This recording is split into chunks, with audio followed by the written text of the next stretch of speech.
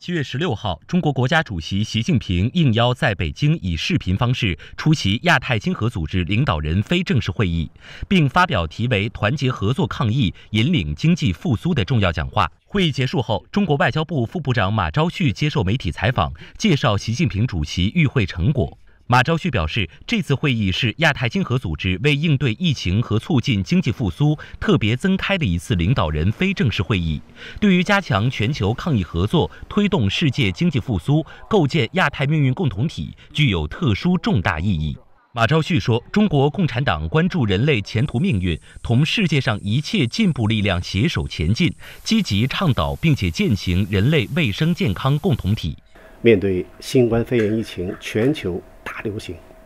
在以习近平同志为核心的党中央的坚强领导下，中国秉持人民至上、生命至上，不仅自身抗击疫情取得了举世瞩目的成果，而且勇立全球抗击疫情最前线，开展了新中国成立以来最大规模的全球人道主义行动。我们尽最大努力帮助发展中国家。克服疫情影响，维护人民生命健康，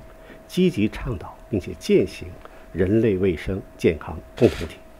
马朝旭表示，习近平主席出席亚太经合组织领导人非正式会议，从阐释中国发展道路、扩大国际认知认同、倡导命运共同体理念、指引亚太区域发展方向，高举团结合作大旗，引领促进亚太抗疫合作，放眼全球发展，提出经济复苏的中国方案，聚焦务实合作、积极贡献中国力量等五个方面发表的重要讲话，有助于推动各方凝聚共识，开展合作。那么当前呢，新冠肺炎疫情起伏反复，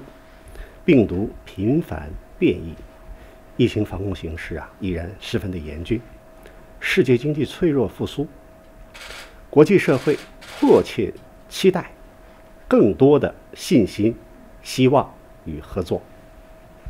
在这样一个关键时刻，习近平主席出席亚太经合组织领导人非正式会议。发表题为“团结合作抗疫，引领经济复苏”的重要讲话，推动各方凝聚共识，开展合作，为全球应对疫情开出新药方，为世界经济复苏提供新思路，为深化亚太合作注入新动力。马朝旭说：“我们将高举和平、发展、合作共赢旗帜，同亚太各方深化抗疫和经济合作，为推动国际社会早日战胜疫情、实现经济持久复苏、推动构建人类命运共同体作出更大贡献。”